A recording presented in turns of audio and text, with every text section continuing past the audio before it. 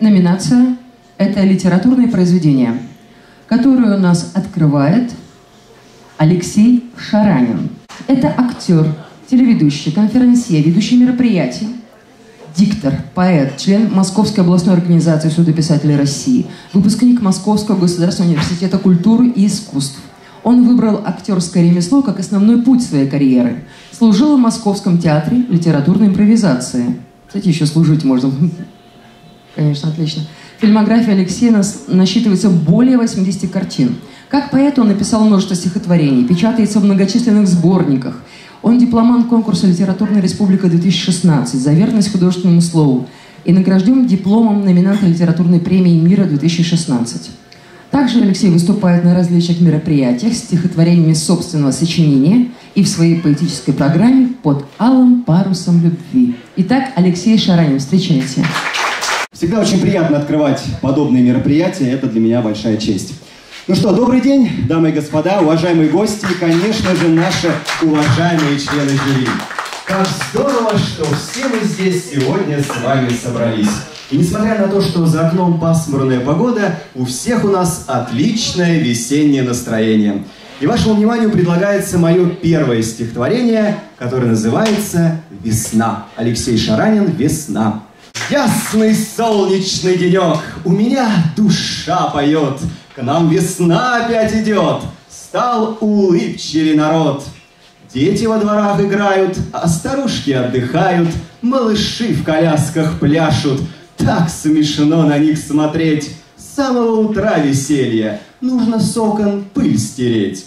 Во дворе ледок растаял, так заманчиво сошел, и земля открылась взору. Да чего же, эх, хорошо!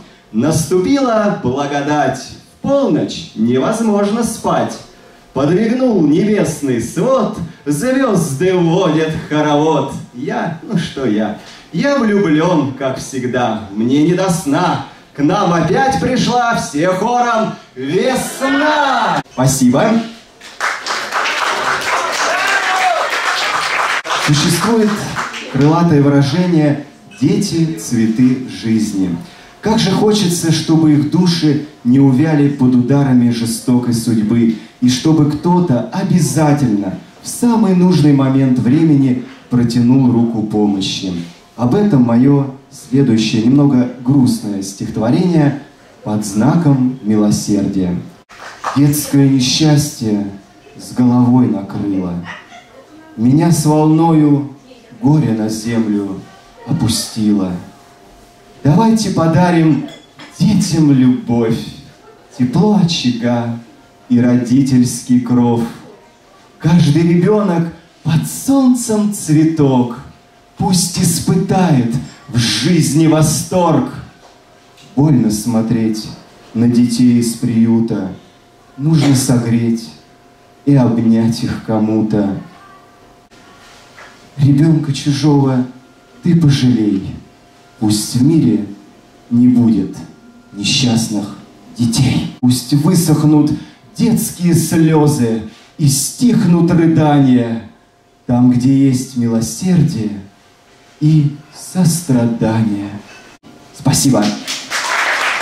Любите друг друга, цените друг друга, помогайте друг другу, и будет всем нам счастье и такое прекрасное, светлое земное чувство – как любовь, и мир тогда станет еще добрее и прекраснее. Спасибо за внимание. Ваш Алексей Шаранин.